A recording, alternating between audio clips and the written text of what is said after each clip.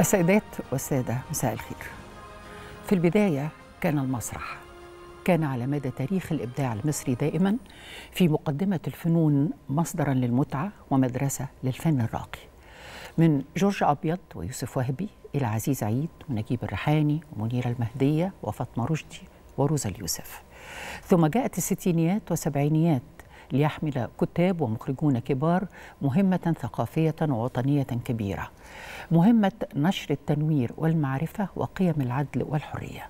وامتلأت صالات المسارح بجمهور يشاهد أعمال يوسف إدريس ونعمان عاشور لطفي الخولي نجيب سرور سعد الدين وهبة ألفريد فرج عبد الرحمن الشرقاوي صلاح عبد الصبور وعلي سالم.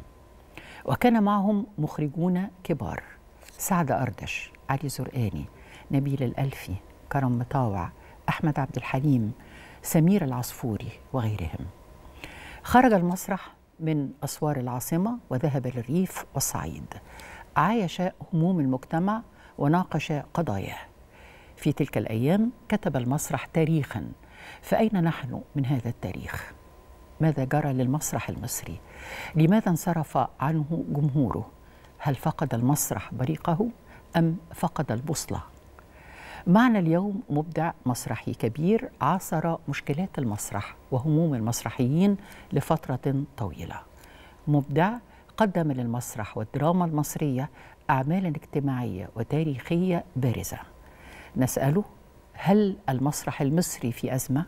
هل الأزمة في الفكر والمضمون أم في الإمكانيات؟ حديثنا اليوم من مصر عن المسرح.